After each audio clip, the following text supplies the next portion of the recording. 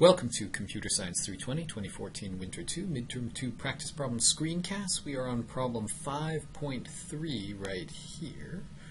And it says, now complete the divide and conquer algorithm lazy ISP on the next page that takes two arrays by start and by finish as input. By start is sorted by increasing start time, while by finish is sorted by increasing finish time. Each array entry is an object with four fields. Start is the job start time, finish is its finish time, S index is the job's index and by start, and F index is its index and by finish. So each of these jobs is going to be in both arrays. It's just we wanted to be able to have them sorted by start time and also sorted by finish time. It's kind of handy. So by start brackets 1 dot start, since that's entry number 1, and I'm using 1 based indexing here, so that's entry number 1 in the by start array, it's going to be the very first job in order by start time, and the dot start field is its start time, which should be the smallest of all the start times. By start brackets 1 dot finish is the finish time of that job, and that could be the smallest finish time, it could be the largest finish time, it could be anything in between. It depends how long that job is and where the other jobs sit by start one dot s index is equal to one just because it is this index right here. So clearly it's going to be one. And by finish brackets by start one dot f index is the same job in the by finish array because this by start one dot f index ought to be the index of that job in the by finish array. So when we plug it in we get the same job back again. So that is equal to by start brackets one since they contain the same jobs, the length of by start is equal to the length of by finish, which is pretty handy. Now, we're actually doing all this on the next page, so this was all good to know, but we're going to have to scroll down to get any further. So let's scroll down.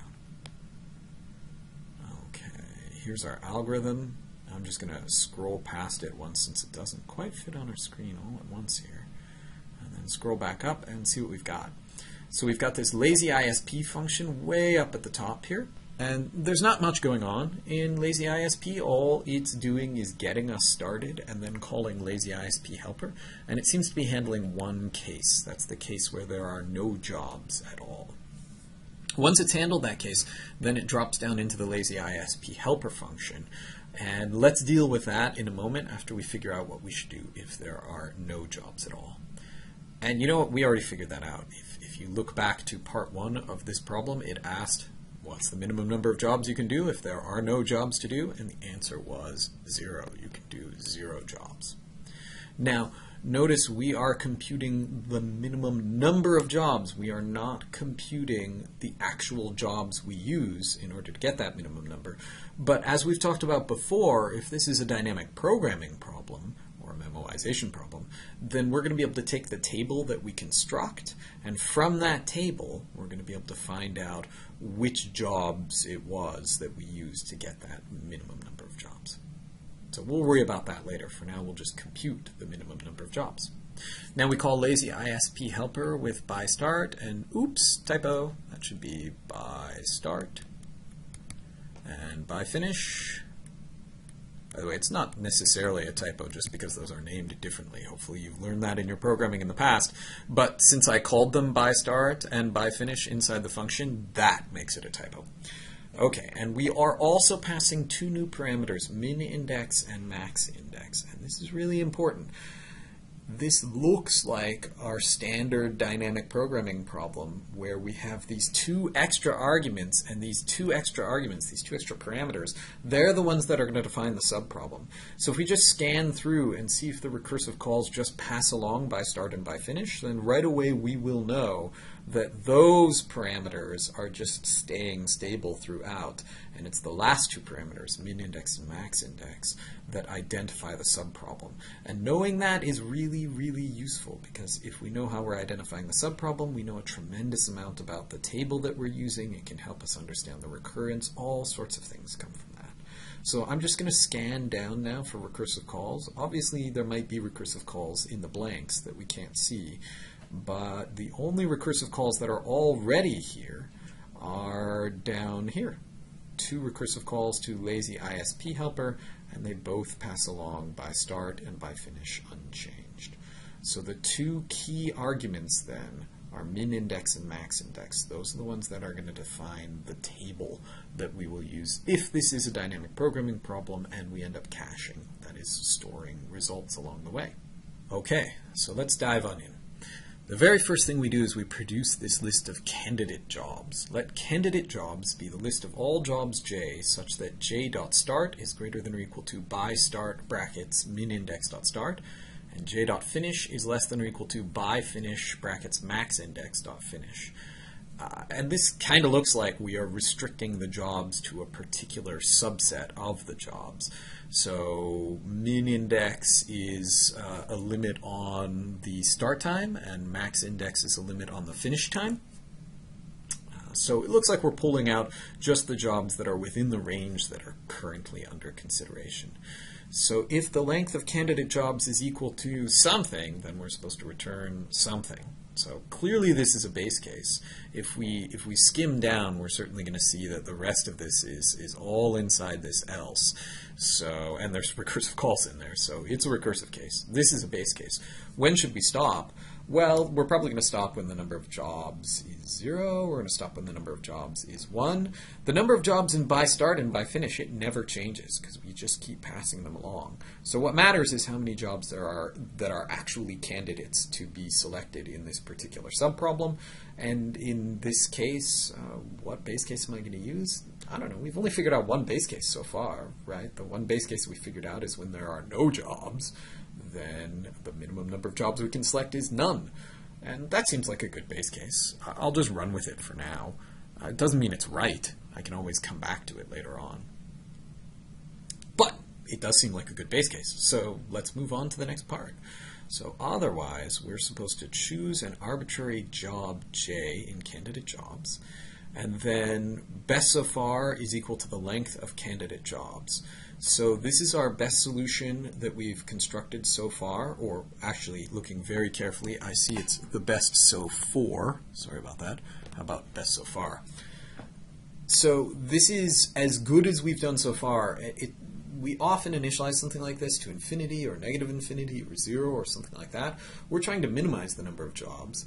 The worst we can possibly do is have to use every single job, right? So if every job is non-conflicting with every other job, none of them overlap, then we're going to end up using all the jobs, and that will be our best solution. So this is a good starting point. We can't do any worse than that. It probably would have been fine to just say infinity here as well, and we would have come up with a good solution. Okay, so best so far presumably is going to get updated later on. Oh yeah, and if, if we jump down, we can see it does get updated.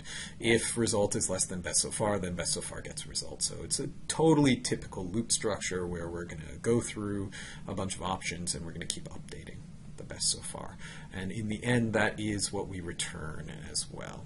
So that's completely standard. We're just trying to minimize over some set of options. Okay, but what is our set of options? Well, here's our options. It's called options anyway. Construct a list options of all jobs K in candidate jobs with the following relationship to J so that exactly one of options must be chosen. Well, you may not be a mind reader, so it might be hard for you to know what was the person who wrote this thinking when they decided to call this thing options, what did they mean to put in the blank? The only real clue we have here is that it is a list of options. It's got some relationship to J, so we've got jobs K that have relationships to J. And, you know, what relationships do we have? We've got like start time comes before finish time, finish time comes before start time. They conflict, they don't conflict, those kinds of relationships. But here's the key part. We want to make sure exactly one of options must be chosen. So if we go back to the problem definition, what makes it so that exactly one of some set must be chosen? Let's jump back up. Way back up. Right at the start. What tells us that exactly one of some set of jobs must be chosen? Right here. We need to perform exactly one job from each conflict set. That's the core decision that we have given a conflict set, we must choose one of the jobs in that conflict set, and we can't choose two. So that's a nice choice point that we can use for divide and conquer. So then we want this list options to be a conflict set.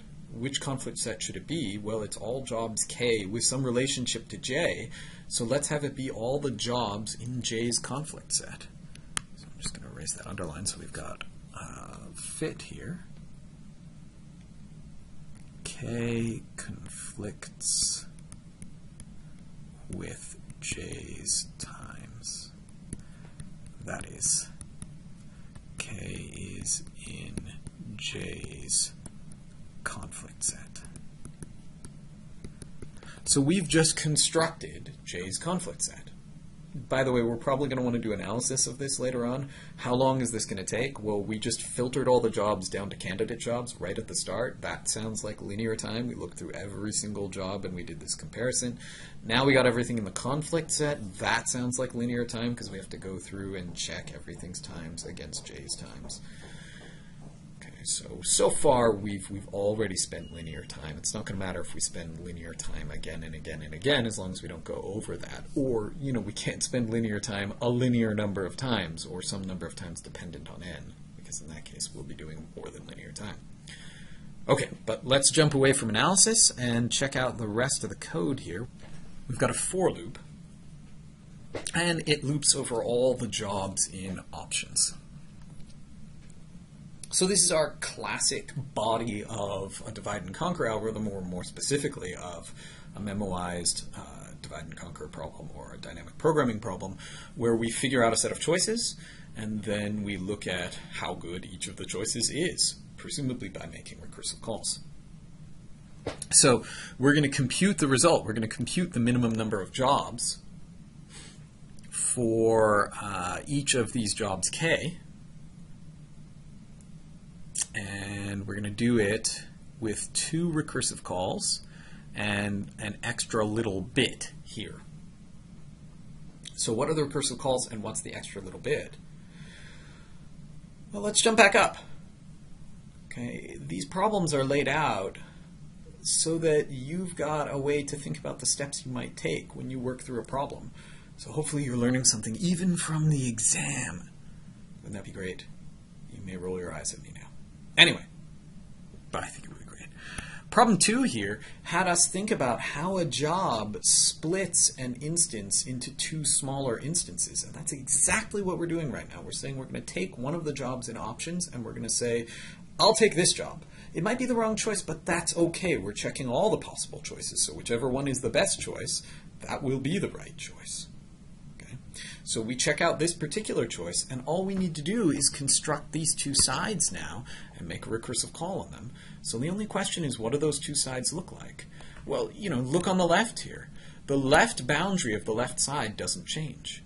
The right boundary of the left side is going to become the largest index that is smaller than the start time here, right?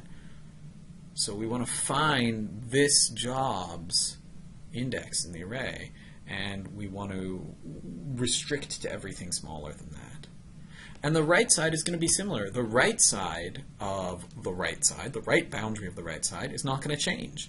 But the left boundary of the right side is going to be this job here, the smallest start time that's larger than this job that we're looking at. So let's drop down here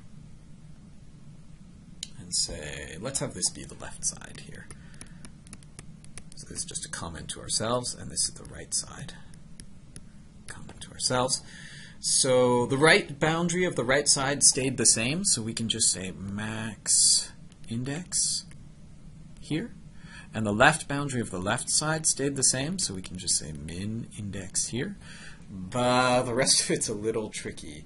Um, and you know, it doesn't really fit very well on this line, because what we really want to say, say for the left side, is the index of the the index in by finish of the job whose finish time uh, the the job that has the largest finish time less than the start time of k. Right, so that's the equivalent of what we looked at above. We only want jobs that finish before k starts And our max index then is the job that finishes before k starts but has the largest finish time. So I'm going to do my best to write it in here and, and we'll just slop over. Index of the job in by finish with the largest finish time less than k's start time. Okay? And notice that uh, that array by finish is sorted by finish time, so we could binary search to find the appropriate job. And now, obviously, we're going to have just as much trouble fitting down here. This is the index of the job in by start with the smallest start time that is greater than k's finish time. So this will be the optimal solution to the left subproblem. This will be the optimal solution to the right subproblem. We're adding them together. And is that it? Is that all the jobs we used? No, we had to use job K as well, right? We're going to use one of these jobs in options because we must use one of those jobs. So there is one extra job that we need to account for. And that's it. The rest of the construction here, like this part here, if result is less than best so far, the rest of this construction will ensure that we find the option that was best. We have to take one of the jobs from options, but by finding the minimum of all of those results, we'll choose the best one. And that completes our algorithm.